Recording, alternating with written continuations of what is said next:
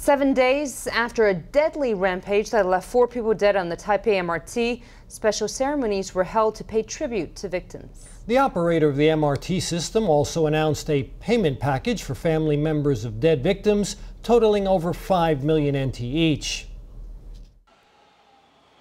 The televisions at Jiangzicui MRT station and all other stations went silent at 426 Tuesday afternoon. They displayed this message describing May 21st as the saddest day in the metro's history. Passengers were asked to mourn the loss of lives and pray for the injured.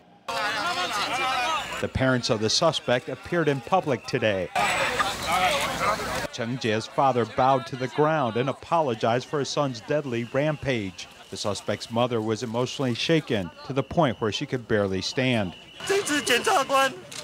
The judges will probably sentence him to death. Even though he is my son, I believe he must face up to what he has done. Only then can the victims and their families achieve even the slightest amount of healing. Today, the Taipei Rapid Transit Corporation announced payments for the dead. 4 million NT dollars in compensation, 1.6 million in relief funds will be provided to the families of each person who perished.